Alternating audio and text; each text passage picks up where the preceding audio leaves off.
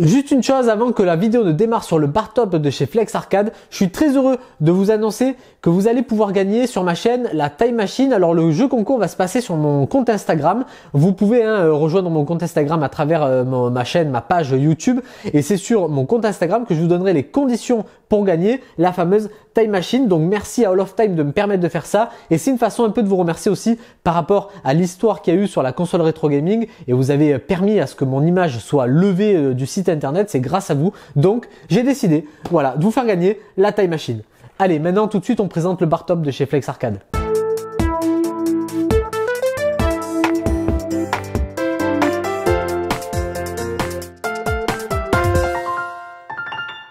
Bonjour à toutes et à tous, et ça fait un moment que vous me demandez, ça fait un moment que j'entends, mais qu'est-ce que tu as derrière toi? Qu'est-ce que c'est? Est-ce que tu peux nous en parler? D'où ça vient? Est-ce que c'est bien une borne d'arcade, un bar top? Est-ce que tu peux tout nous expliquer sur ça?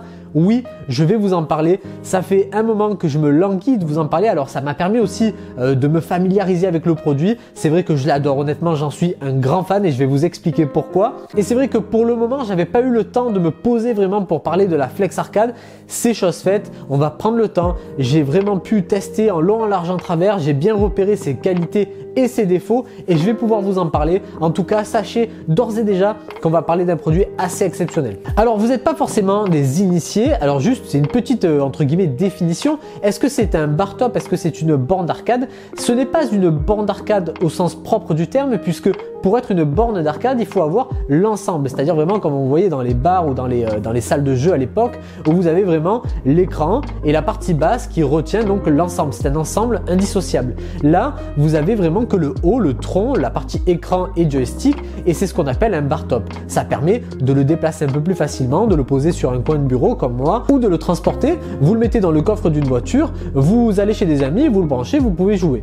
Donc voilà, le bar top est un peu plus mobile que la bande d'arcade et c'est ce qui a orienté mon choix. Les deux sont possibles et d'ailleurs je vais détailler dans le bar top et dans la bande arcade les options possibles chez Flex Arcade parce qu'il y en a une qui est plutôt intéressante.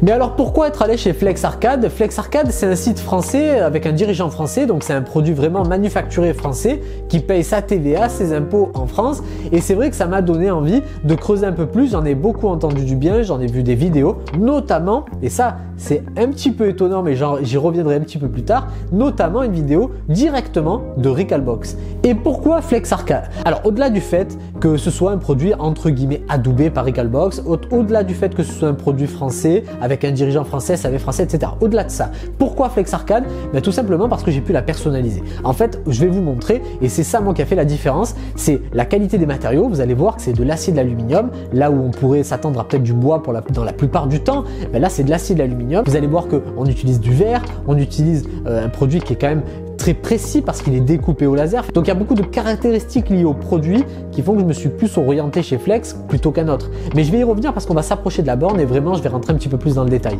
Mais voilà, c'est une société qui est sérieuse, qui est plutôt reconnue et je me suis dit quitte à en avoir une, autant que ce soit chez elle. Maintenant ce que je vous propose c'est qu'on se rapproche un petit peu plus et qu'on regarde un petit peu plus en détail ce que propose Flex Arcade, au moins déjà dans le hardware. Voilà, donc il est temps qu'on se rapproche un peu de la borne et qu'on en parle. Donc déjà, toute la partie châssis est en acier. Et ça c'est un gros avantage parce que du coup ça lui confère naturellement un poids important.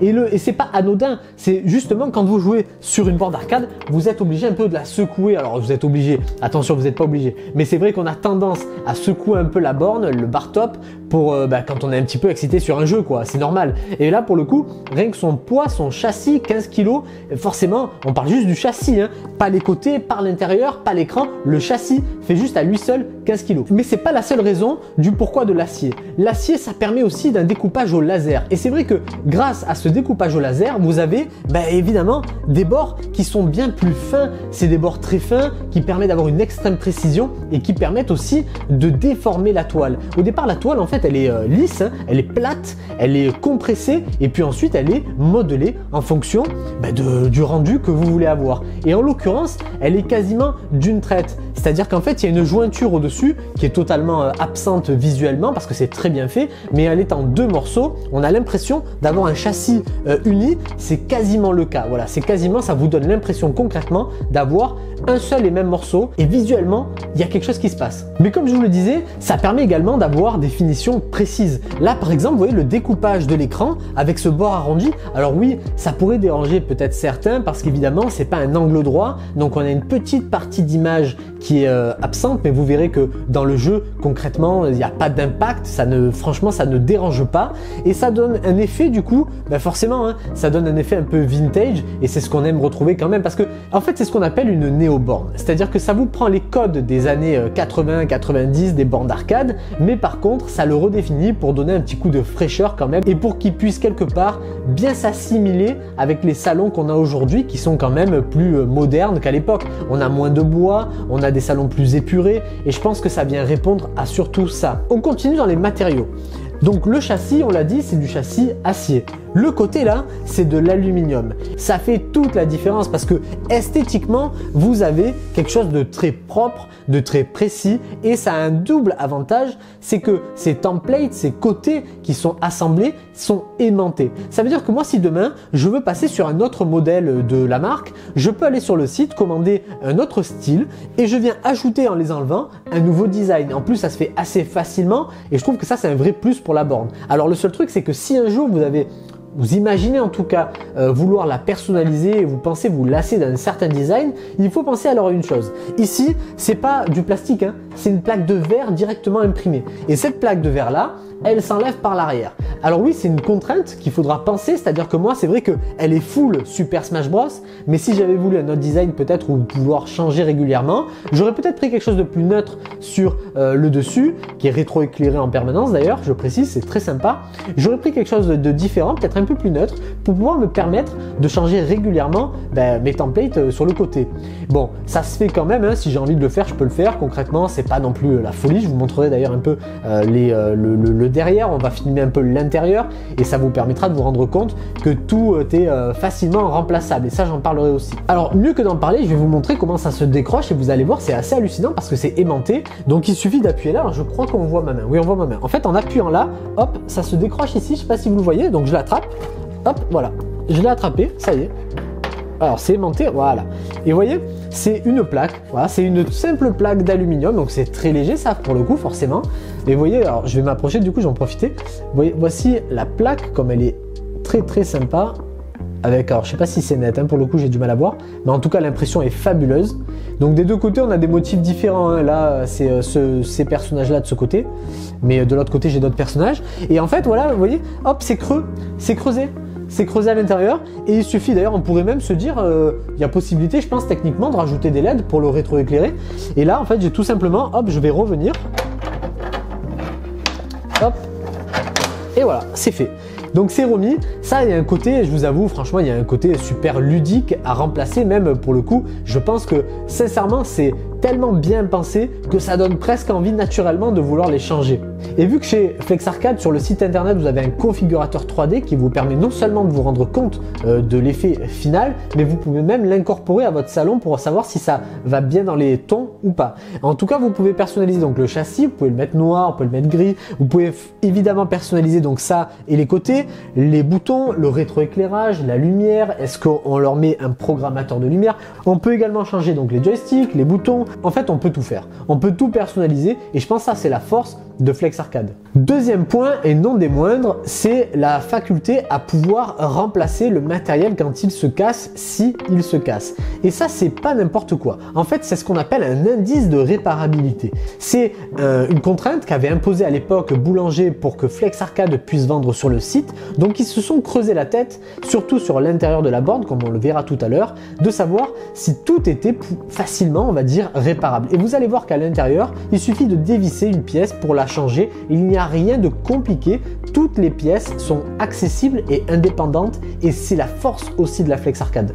Alors parlons un peu du software et de ce qu'embarque la Flex Arcade. Ce qu'il y a de bien, c'est que vous avez un Raspberry Pi 4 à l'intérieur qui vous permet globalement de faire tourner ce qu'on a besoin de faire tourner sur un bar top.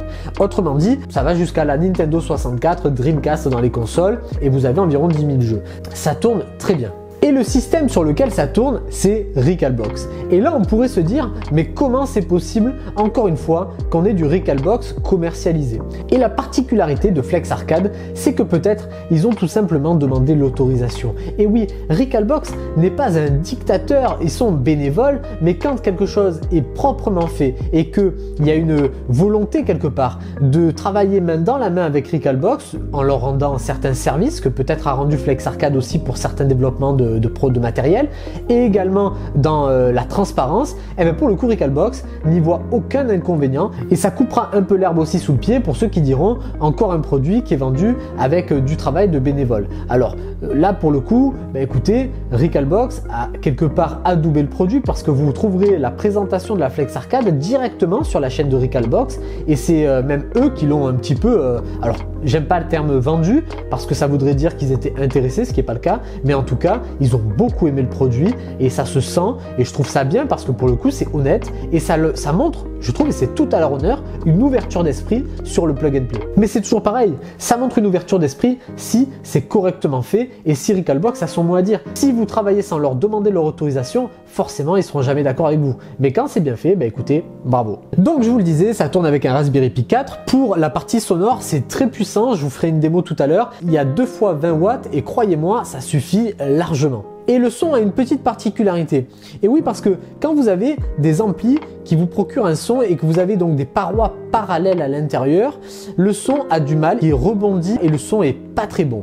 Et c'est pour ça que vous avez aussi une inclinaison à l'intérieur qui casse la parallélité du son. Alors je crois qu'on dit comme ça, mais euh, s'il y a des euh, techniciens euh, dans les commentaires, je veux bien me faire reprendre. Mais il me semble que la parallélité du son est coupée est cassée, ce qui fait que oui, on a un très bon son et on a une bonne résonance dans le bar top. Et je vais rajouter un petit critère qui est très intéressant et qui marche très bien avec cet objet, c'est le fameux WAF, le Wife Acceptation Factor. Ça veut dire quelque part un objet acceptable pour une femme ou pour un homme dans son environnement je simplifie un peu, mais grosso modo, c'est ça que ça veut dire. C'est-à-dire, vous avez une femme qui fait sa propre décoration, elle a l'habitude d'avoir son salon euh, comme ci, comme ça, et vous savez que cette borne, elle peut se retrouver dans le salon. Et eh bien cette borne, l'esthétique de cette borne fait que elle a un taux de WAF élevé. Et c'est pareil pour un objet qui pourrait être accepté ou pas chez un homme. Hein. Ça n'a rien à voir avec le fait que ce soit que pour la femme ou que pour l'homme.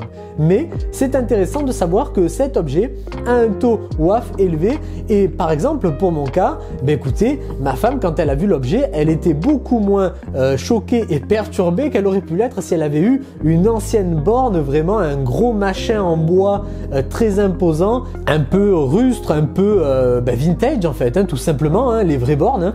Ben là, c'est vrai que cette néo-borne, elle a forcément un towaf bien plus important. Elles se font bien plus dans le décor d'un salon. Allez, maintenant on passe au test sonore, bouton, joystick, le son tout simplement de la borne, et puis ensuite on testera des jeux, et je vous montrerai également le site de personnalisation de Flex Arcade.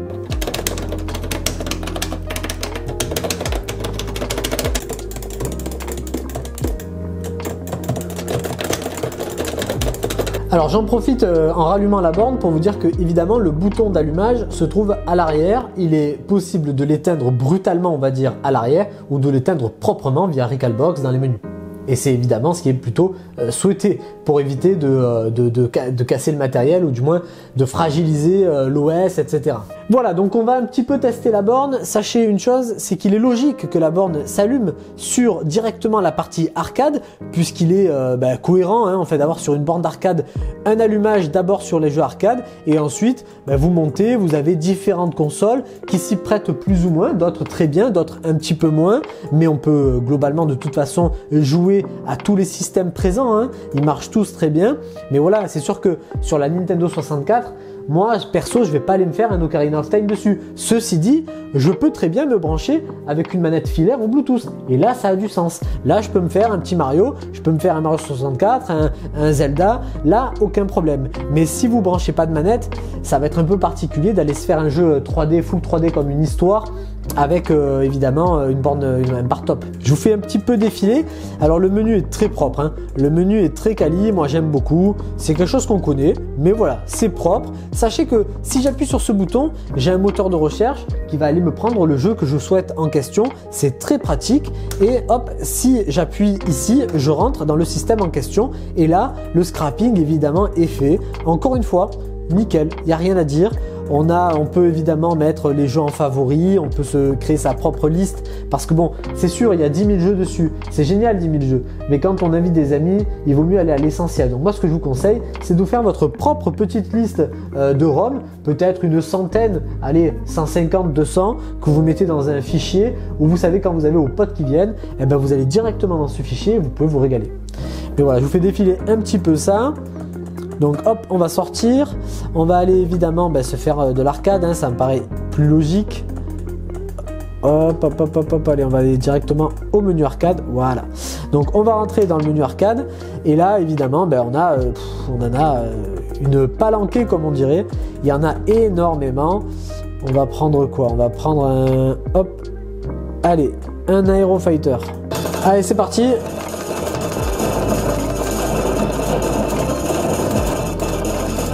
Alors les codes ont changé, hein. les codes des jeux ont changé. C'est vrai que le défilement vertical, c'est quelque chose qu'on voit plus trop. Évidemment, c'est euh, quelque chose qu'on voyait énormément dans les salles, d'arcade. Alors à noter quand même que les bornes étaient là pour faire dépenser des sous, mais également pour faire prendre du plaisir. Et c'est le savant mélange des deux ben, qui faisait tout simplement qu'on avait envie euh, de remettre de l'argent dans la borne. Et c'est ça qui faisait le succès d'une borne. C'était pas simplement qu'elle vous prenne de l'argent. C'était euh, qu'elle vous prenne de l'argent, mais qu'elle vous fasse évidemment remettre de l'argent au pot quand vous avez perdu.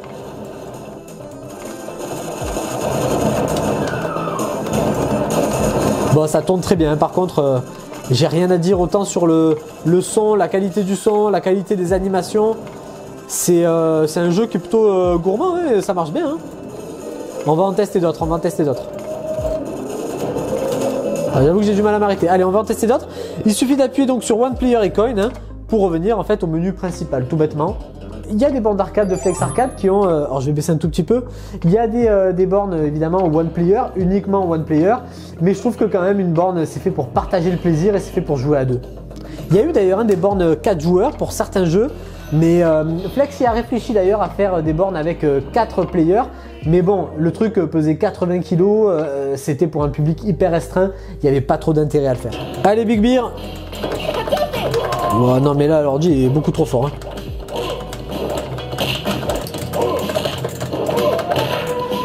Non mais elle a pris aucun dégât, elle fait que se protéger.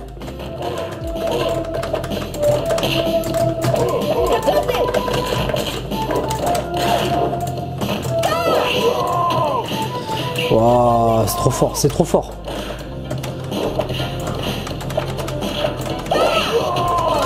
Elle me martyrise elle aussi, c'est pas possible.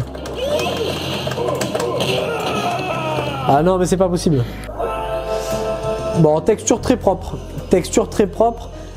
La dernière fois que j'ai testé euh, ce jeu, euh, c'était pour la console rétro gaming. Je faisais un comparatif avec la Retrobox 2.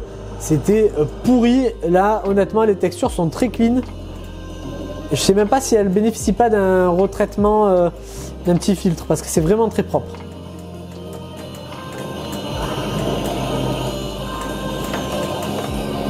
Oh, que de souvenirs, rien que le son déjà.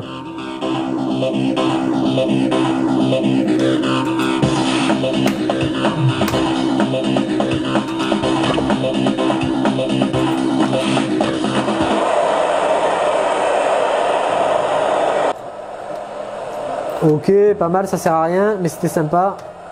Voilà, penalty, hein, même pas. Les joies euh, du euh, FIFA 99. Hein. Non, attends, c'est quoi pour tirer?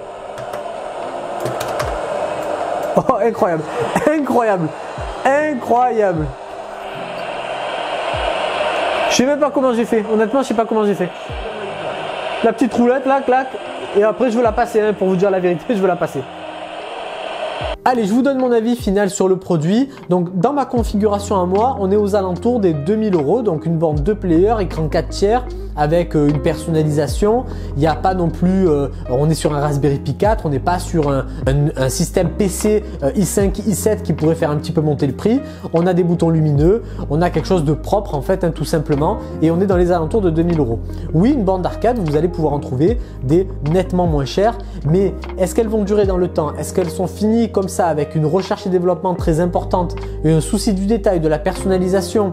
Non, ce n'est pas cher pour ce que c'est. C'est simplement coûteux mais c'est justifié. Il y a le recherche et développement, la qualité des matériaux. À l'intérieur, on ne s'ouvre pas de vous, c'est de la qualité. L'indice de réparabilité est énorme, il est tout simplement parfait. Vous avez à tous les niveaux un souci du détail. C'est un produit français avec le SAV qui va bien. Même Recalbox vous dit que c'est un bon produit. Je veux dire sincèrement, oui, ça coûte c'est sûr, mais honnêtement, la qualité est au rendez-vous. Il n'y a rien à dire. Je ne peux pas vous dire autrement que la qualité est au rendez-vous. J'ai essayé de trouver des défauts parce que honnêtement, c'est un produit que j'adore. Moi, je me régale avec. On a joué avec des potes. Je vous ai filmé quelques plans. Il y a des plans où c'est évidemment pas moi qui joue, c'est un ami. Et franchement, il n'y a pas à dire. C'est génial. Alors, le petit défaut, et encore que sincèrement c'est ce qui lui donne son charme, mais je peux comprendre peut-être que pour un, euh, hardcore euh, arcade euh, puriste, l'arrondi de l'écran qui vous cache du coup peut-être une partie des pixels peut vous gêner. Moi sincèrement, il n'y a aucun moment dans les jeux où je me suis dit tiens je vois pas les quelques pixels là qui sont mordus sur l'écran. Je trouve qu'au contraire ça intègre, ça épouse l'écran, sachant que du coup grâce à ce mécanisme, grâce à ce procédé de, de, de, de, tôle d'acier très fine et à cet arrondi, l'écran est collé. Et du coup on a l'impression que vraiment il est intégré à la borne sans être trop détaché comme dans certaines bornes d'arcade. Franchement, c'est sublime. Donc si je puis résumer, je trouve qu'il n'y a pas beaucoup de défauts. Alors oui, le prix peut être considéré comme un défaut. Moi, je trouve que c'est pas un défaut, c'est soit dans votre budget, soit non, mais ça ne ça n'est pas un critère qui définit si le produit est bon ou pas. Ce qui le définit, c'est est-ce que le prix est cohérent face au produit qu'il y a en face. Et là, pour moi, il n'y a aucun doute, vous en aurez pour votre argent. C'est absolument sublime de finition et de qualité. Voilà, c'est tout pour cette vidéo. Elle était, euh, je pense, complète mais nécessaire puisque vous êtes beaucoup à me poser cette question et je pense que c'est légitime euh, quand on voit un accessoire comme ça dans un bureau, on a forcément envie d'en savoir plus. Alors sachez qu'il n'y a pas de code promo, il n'y a pas d'affiliation, c'est un produit que je possède mais j'ai pas de, de, code à vous donner pour vous permettre d'avoir une réduction. Vous pouvez passer par le lien que je mets dans la description, c'est simplement pour vous faciliter la vie, mais je ne gagne rien si vous achetez euh, par ce lien. Donc faites comme bon vous semble mais vous avez le lien description. Par contre, si Alexandre d'ici là me dit, bah écoute, pour ceux qui commandent, je peux leur faire une petite euh, réduction, je serai évidemment le premier à vous le mettre en commentaire pour que vous puissiez en bénéficier, c'est normal. Voilà, je vous laisse, on se dit à très bientôt pour une prochaine vidéo. Ciao